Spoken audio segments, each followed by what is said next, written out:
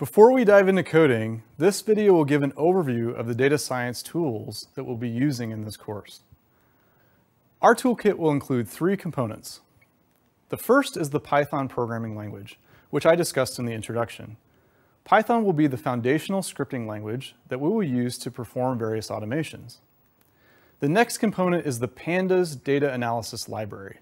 Pandas is a library of functions and variables that enable us to use Python in the same way we use spreadsheets.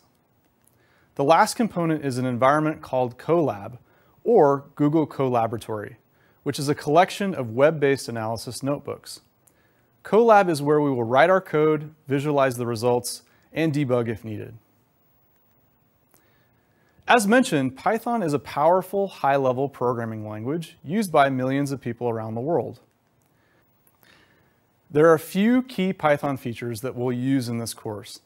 The first feature is that Python has variables that store different types of data, such as words, labels, and values. Next, Python is useful for automating repetitive data analysis tasks. For example, there are functions that can load a large number of input files and merge them all together. Such a task would take hours using a spreadsheet, but in Python, it takes a few lines of code in a matter of seconds.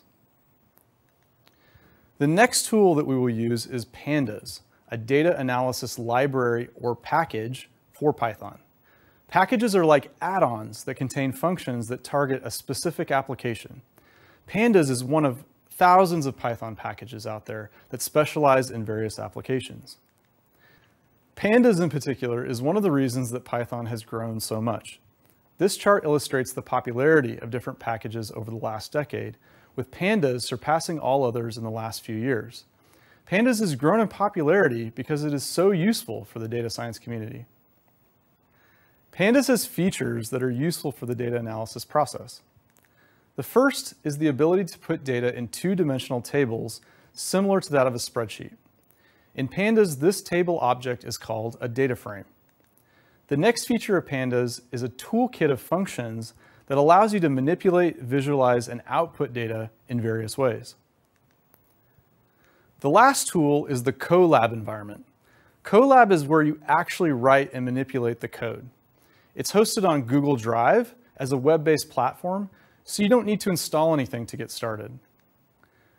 Colab is what's known as a notebook format that includes cells that can contain code, but can also include explanatory text, graphics, and even videos.